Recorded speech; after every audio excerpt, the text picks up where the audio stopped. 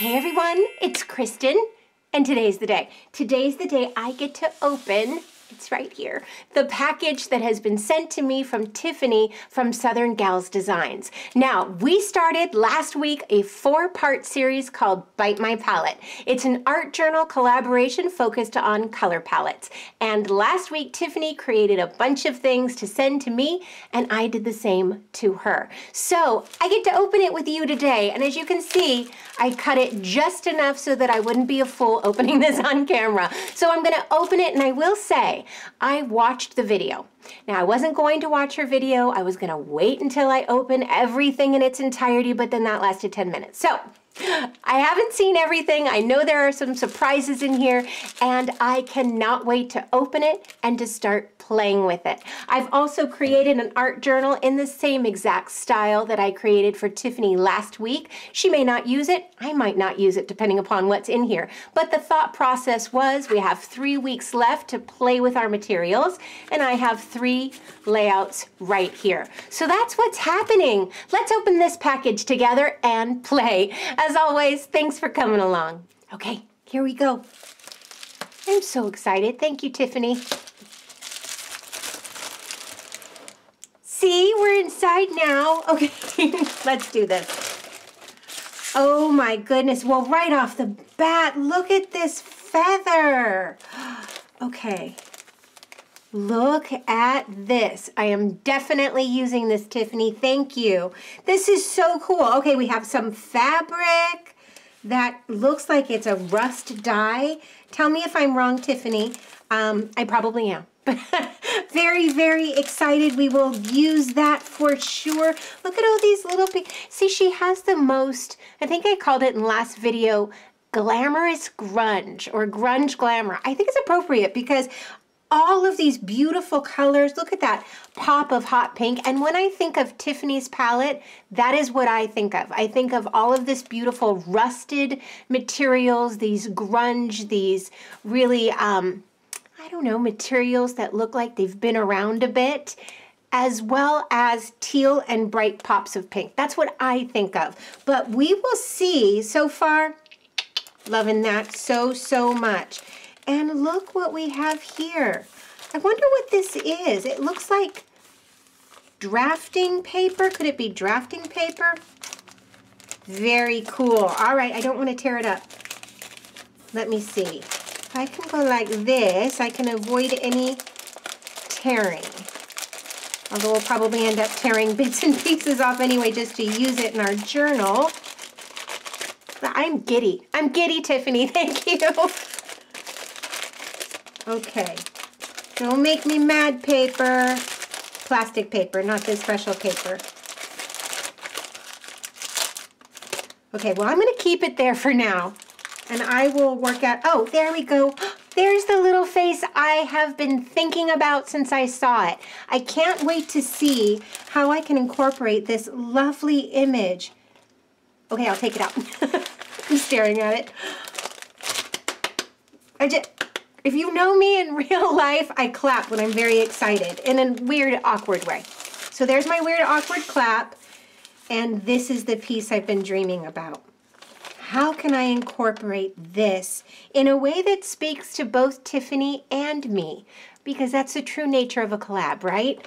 This really makes me all kinds of happy. And see those pops of bright pink right there. Love those cheeks. Love that touch of yellow or ochre under the eye.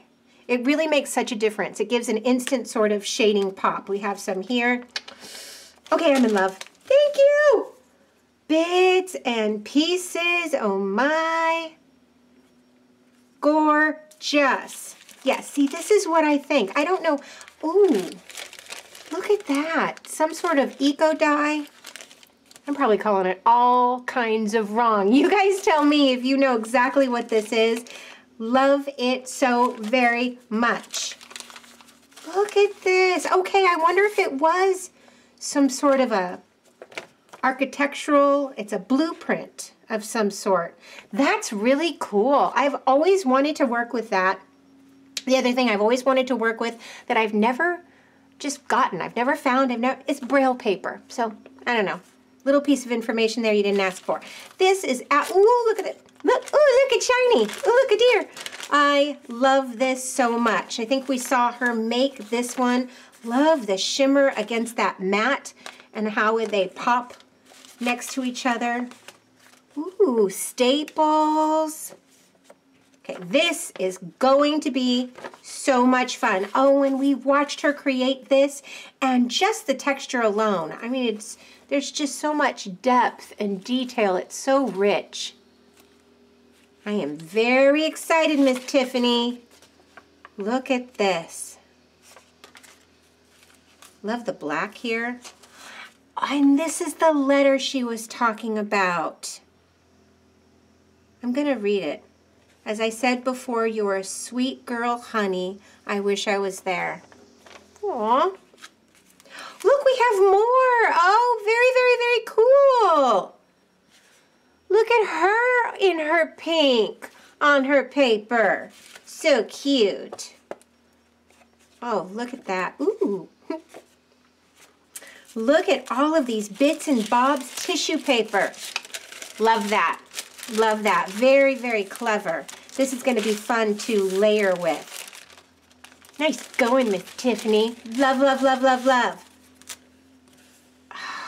Look at this. I love the little detail here. Just, just this simple little detail. How she has the pencil mark within the other mark making of the teal.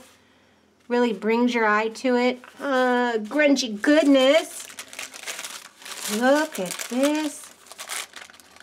Oh, she said she might put this palette in, and she did. And it makes me extra happy. Look at that. And the shimmer love the black. All of the things I sent to her were very, very bold, but I do expect her to incorporate, or expect that she would incorporate whites and blacks and more neutral colors to bring that down. And she's done it so beautifully here. So she's used these darker colors in combination with these bold pops, and it just makes everything sing. I love it. I almost started singing. You're welcome. I didn't. Ooh, ooh, I love how there's just this little, I'm a piece of paper and a piece of fabric and I'm stapled together. Love that.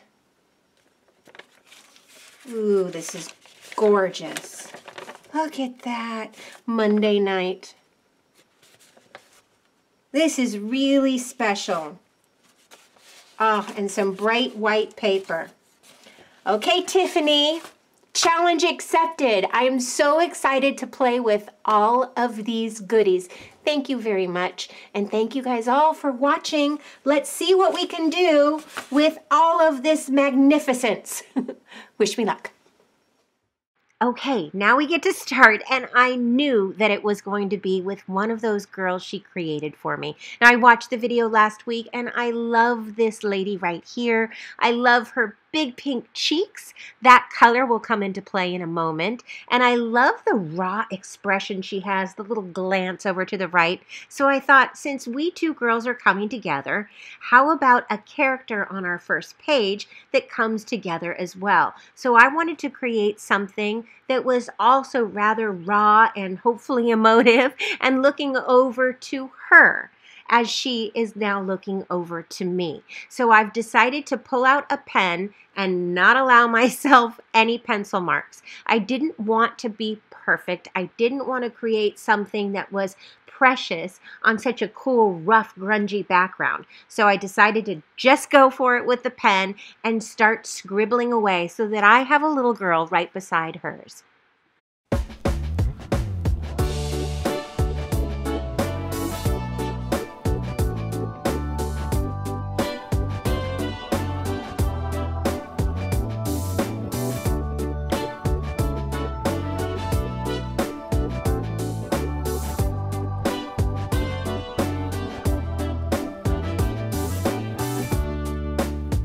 Sketch is now done. I'll set her aside and start to work on that background. I'm going to use Liquitex gesso and do a little finger painting. Now I'm doing this for a reason. I don't want an even consistency on this background paper. So if I use my fingers and put gesso in bits and places, when I end up adding that ink, which is a Brea Reese watercolor ink on top, you'll notice that there are some places where it hits really smooth and some places where it looks really rough and distressed. Wherever I had the gesso, it's going to be smooth, and wherever I didn't, it's going to grab onto that paper a little bit more and give a distressed look. Really kind of like it, so I'll go from here into a little bit of something extra with a little bit of liquid glitter.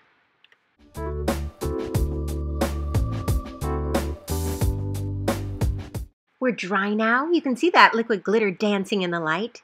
And now I'm separating all of these beautiful materials into categories. I'm putting the letters with the letters, the tissue paper with the tissue paper, and I'm going to determine exactly what to use on this background. Well, I know I love those letters. And you see that blue on the letter in the right? I have something similar in my Jane Davenport Brights palette. So I'm going to take that out and I'm going to add some of that beautiful blue that she's already got going on in the letter to my background. I'll eventually then add the letter to this page and I want them to really be able to blend in together.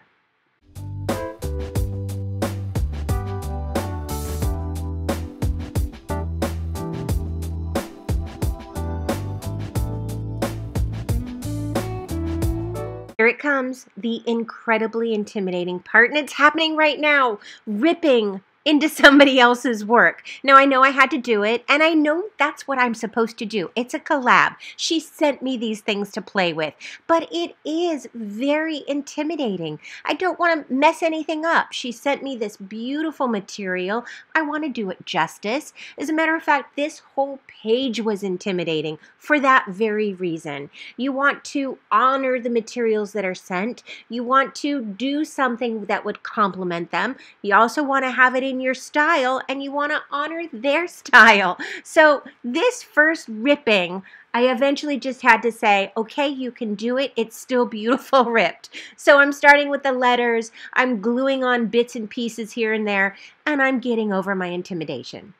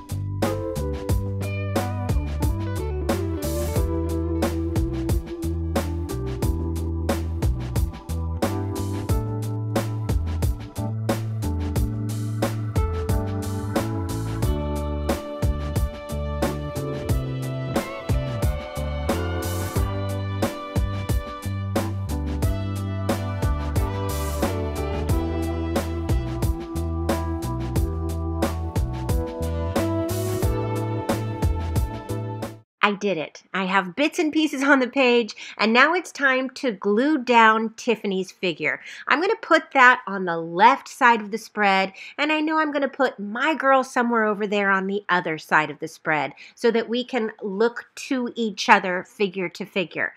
But what I don't want to do is monopolize the page with my image. I want hers to be the star. And I'm not exactly sure how to go about doing that. So for now, I'll set it aside and start using some of this lovely tissue paper. I love the fact that I'll be able to see that pink background through it. So I've decided to rip a little bit of that off so there's no harsh edge. And I'll be gluing that down in between both pages.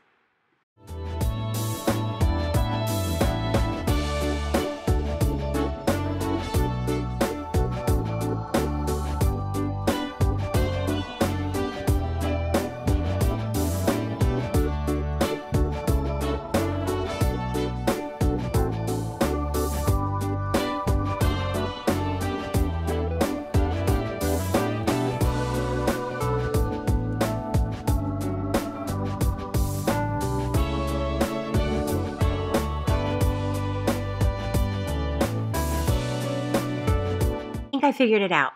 How about using this scrap of fabric, which I wanted to figure out how to use on this page anyway, as a way to hide my image from hers. So instead of applying my image directly onto the other page, we'll use this scrap and fold it over the face so that it's secretly there. We know it's there. When we open the book and open that, it will be there, but it won't be glaringly obvious from the start. It will be behind a piece of fabric that will complement everything else we've got going on so far. So that's what I'm going for. I've attached my girl to the piece of fabric. I'm now tearing it off so that you still see the fabric fringe that I didn't glue over that entirely. And eventually I will place this into the center of the page.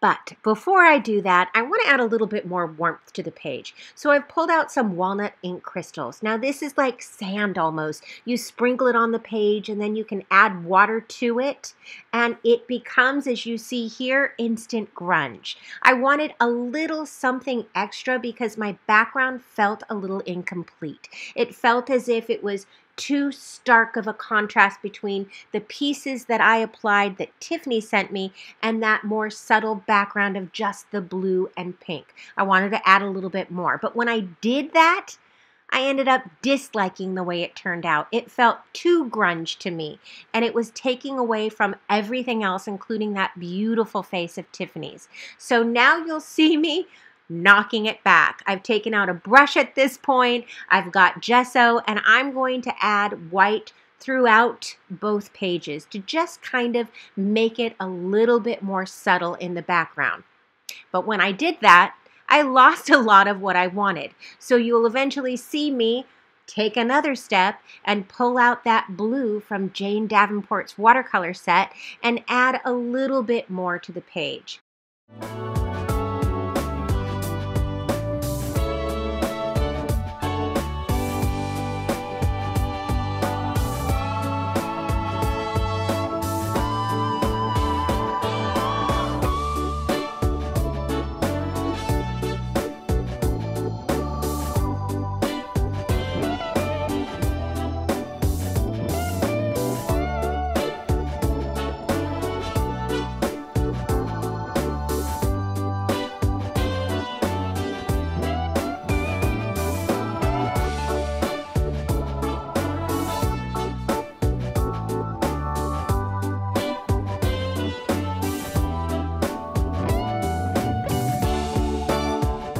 Okay, we've added our grunge and then knocked it back, added a little more, knocked it back, added blue paint, a little glitter, and here we are.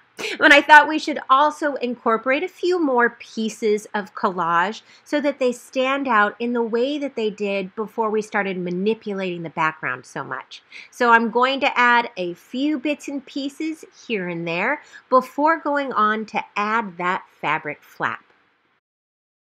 It's flap time. But before I adhere it to the page, I want to add just a little detail to the corner. So I've taken a little bit of pink embroidery thread, it matches those cheeks, and I'm going to do a little faux sewing. What I mean by that is typically I would sew this flap directly into the art journal.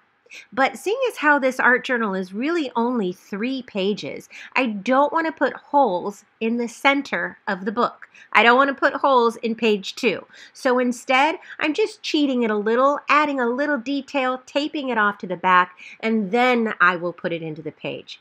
But before I do, one final sentiment, which I absolutely loved from a piece of that letter that Tiffany gave me. I'm going to put that on the front before I finish everything off. Thank you guys for joining us. I have to say, this has been so much fun. I loved watching Tiffany's video last week. I loved reading and hearing all of your responses. I love the fact that you love us together, and I'm enjoying myself immensely. So thank you for joining me. Thank you for joining Tiffany. If you haven't seen her video already, do check that out. I cannot wait to see what she does with all of those painted papers. I'm headed there right now. I'll see you guys next week for page two of Bite My Palette.